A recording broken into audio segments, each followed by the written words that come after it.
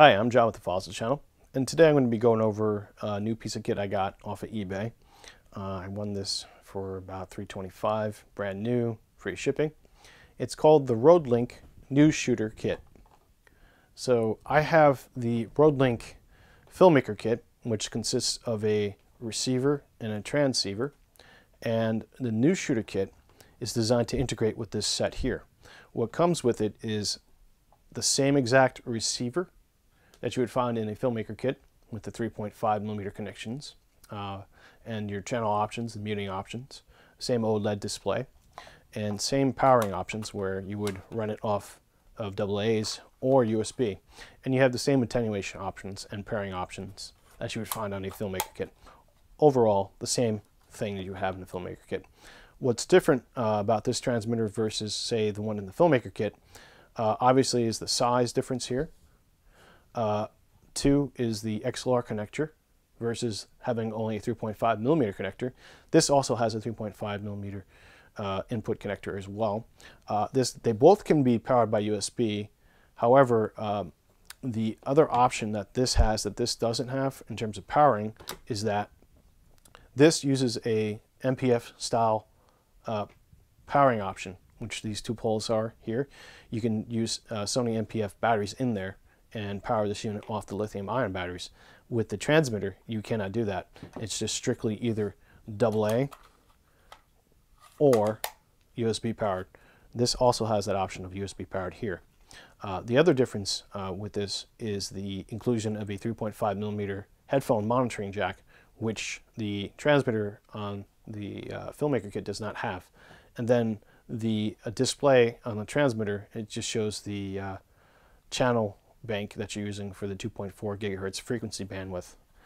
Um, this one has a bigger display and displays a little bit more options. Uh, there are a few more other differences as well, but I'm going to attempt to get this back on here with one hand here. There we go.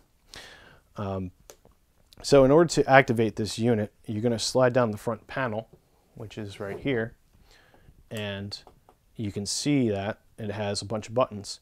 If you want to pair this uh, unit, instead of pushing the red button like you would on the RX or the uh, transmitter of the Filmmaker kit, you would hold down these two. And in the top left corner, you would see a P pop up.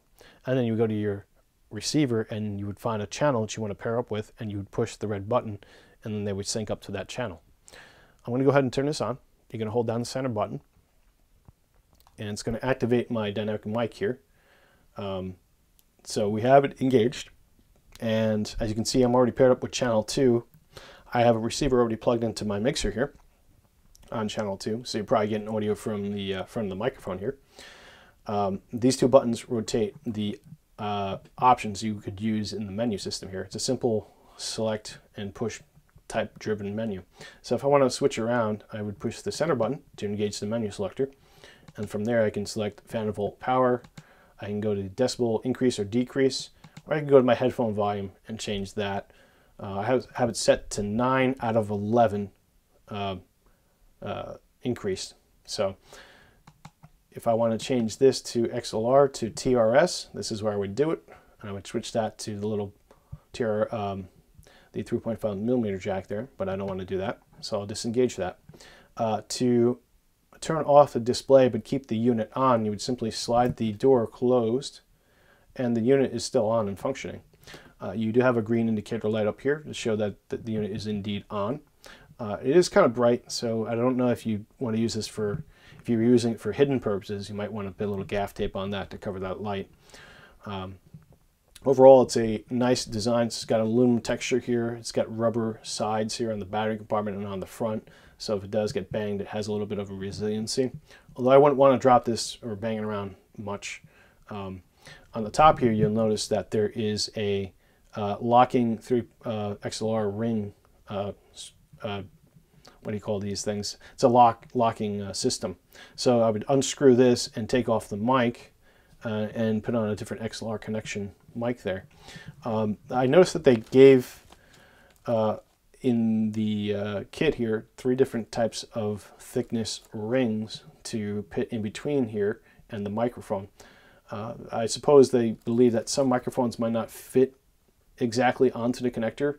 And in order to prevent or reduce stress at this joint, uh, they included those O-rings to keep a little bit more of a rigidity or some kind of buffering system, I believe. That's what their intentions uh, appear to be according to the little diagram in the, in the package here. What also comes in the package is a Allen key screw to uh, unscrew this and I suppose make that looser or tighter. Uh, and then they give you a, what's really useful and practical is a case to put this into. Now this would go in the case and the top would stick out from here like I'm holding it right now. And you can access all the buttons and the slides within the case, which is very nice. Uh, the only thing I've noticed is that when it's in the case and you want to screw in a lavalier mic into the uh, through the pouch here, you'll have to play around with this little spot here in the on the case because it can be kind of difficult to screw it in. But it's just a little bit of maneuvering, that's all. Uh, the case is pretty durable. It's got decent texture and I believe it's some sort of fox leather. It's not real leather uh, at least from what I can tell. Uh, there's a clip on the back which is nice and strong and sturdy. Uh, if you do decide to use it like a lavalier system, this be aware that this will be upside down and, the, and it's designed like that on purpose, so it's not an, an, error in any sort of way. It's just the way they chose to design the unit. Um, what I like about this unit is that it does offer the headphone monitoring port. So if you're looking to maybe try wireless booming and if the situation calls for it, you can have your boom operator monitor the audio, or just anybody who's using this transmitter to monitor their audio through the uh, headphone port to make sure that it's coming through. So it's a good way of uh, checking self-diagnostics and seeing where there might be an error on the signal chain or perhaps it's just another option that they offer you that they don't offer on the filmmaker transmitter kit. Um, I feel like and in my opinion, that this is a more versatile piece of equipment, even though it's a little bit more expensive, uh, because one, it offers you an XLR connection. Two, it's able to phantom power uh, the XLR connector here, so you can con uh, connect condenser microphones. Uh, three, it's got different battery options here, so you can power it with double or um, USB or the Sony NP-F style batteries. Um, for the, the display gives you more information on what's going on.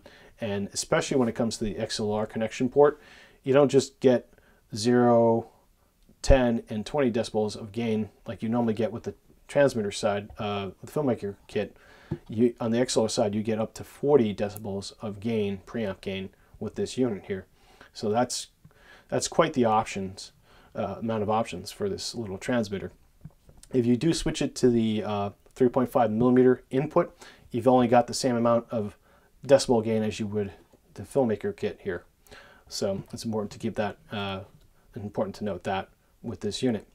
So overall, it's a decent uh, kit. It's rated the same amount of delay milliseconds as the filmmaker kit. It's 4 milliseconds. It's also rated for 24-bit by 44.1 kilohertz. And the range is similar if not the same, as the Filmmaker Kit transmission and reception. Um, that kind of varies, obviously, due to the environment, how many um, Wi-Fi routers are around the area, um, other electronic sources as well. Uh, so you have to take that into account to wherever you plan on using this wireless system, you got to figure out how much, if it's worth the risk or not. So the 300 meter range is uh, presumably in line of sight in optimal conditions, uh, i.e. there's no signals around, it's straight to you and the, and, and the transmitter and, and, the source, nothing's blocking it. When you, when you introduce other factors in there, it changes. So obviously you're not going to get every single time 300 meters of range coverage with this unit. You're probably going to get, at most practically and reliably, and I would say safely, probably about 20 to 50 feet, um, depending on your location. And even that changes. So uh, this is the Rode News Shooter, uh, Rode Link News Shooter. Uh, very nice piece of kit here. I just want to turn down my uh, microphone here um, on my Audio Technica Pro 70 lavalier. I'm going to turn that down. And I'm going to give you a microphone test using the Rode News Shooter right now. I'm talking right into it. Uh, about 45 degrees and about 3 to 4 inches from the microphone on my RE50B Electro Voice dynamic microphone. I'm at a setting of plus 30 decibels on the XLR connector port. And now this is me talking into the axis of the microphone. This is me talking into the axis at about six to eight inches away. This is me talking about 45 degrees into the axis, about six to eight inches away. So that is a little test. I'm talking into the axis again, about four to five inches away. I'm trying to avoid the uh, proximity effect. And that's what the uh, news shooter is transmitting right now with the dynamic microphone. So as you can hear, it's pretty clean audio. And I'm running a Sound Devices uh, 744T. That's where the uh, receiver is plugged in right now uh, at a line in. And uh, the settings I have right now are plus 15 decibels of gain on input 1 on my 744T. Uh, nothing else has been done uh, to the audio.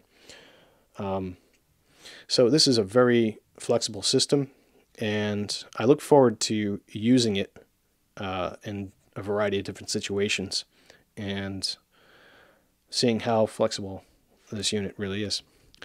Thank you for watching. Uh, I hope you enjoyed. If you have any questions or comments, let me know.